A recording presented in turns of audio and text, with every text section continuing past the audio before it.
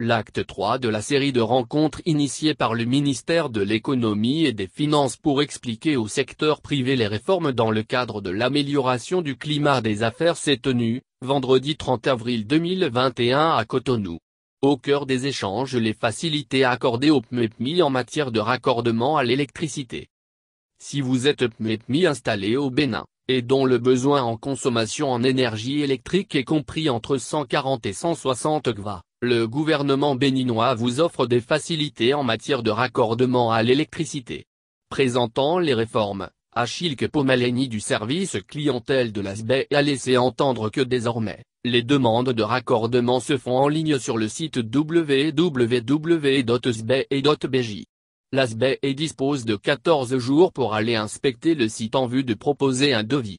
Si le besoin est effectivement compris entre 140 et 160 GVA, il n'y a plus de caution, avance de consommation, à payer.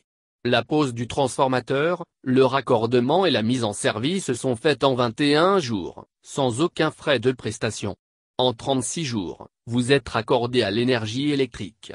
La procédure est transparente.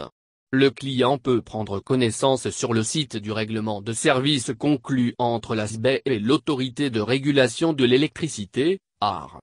Le règlement renseigne sur le changement de tarification, les consommations, les droits des consommateurs, les dommages et intérêts en cas du dépassement du temps de coupure par an.